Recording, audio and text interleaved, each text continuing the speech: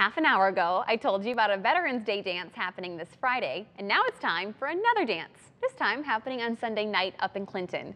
Here to talk about Grow Clinton's annual father-daughter dance is Matt Parbs with Grow Clinton. Thank you for being here with Thanks us. Thanks for having me, Shelby. Okay, theme this year is red, white, and boogie. Boogie. we did not plan that. Okay, what can people expect this year? Yep, so with it being so close to Veterans Day, uh, we wanted to honor uh, kind of that theme. So, well, it's a traditional father-daughter dance, so everybody can show up. Some years I've seen fathers and daughters in unicorn outfits. You see father-daughters in their, you know, their best clothes. So we just wanted the backdrop to be kind of that veterans theme. So like the photo booth will have red, white, and blue balloons and kind of weave that veterans theme throughout the, the, the two to four o'clock on Sunday. I love it. You know, I was cleaning my house this weekend and I was just thinking about this interview today.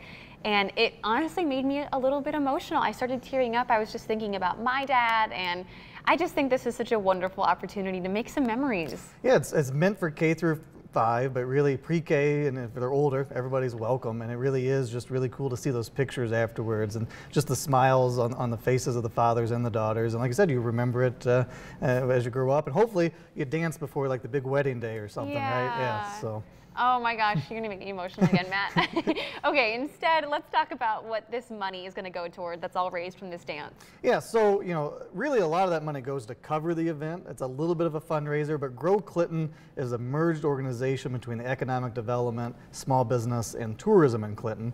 And so we put on a lot of things throughout the year. Um, so, you know, this year is our kind of way to have a community event uh, for fathers and daughters. Um, and so that's what this event's for. But yeah, the money's going to go to help operations and do all the sorts of things. And we brought in Atlas Roofing Company talking about veterans on Thursday night. We're going to have a thing called VetNet at Great Revivalist Brewery. We're going to bring in all the veterans. Uh, they're going to have basically food and things and start networking, seeing some of those resources that our area has to offer. Again, that's why it's red, red white, and boogie. It's all the stuff that we do for veterans. So we do a lot of Grow Clinton. And so this event is, while it's community based, the, the funds that will be raised will help us just continue to grow uh, the region. I love it. And you guys are having a DJ? A DJ, that yep, that's right. Okay. Music for two straight hours from two Ooh. to four. Uh, girls can get tinsel in the hair. I wanted to bring a show, but they said I was not allowed.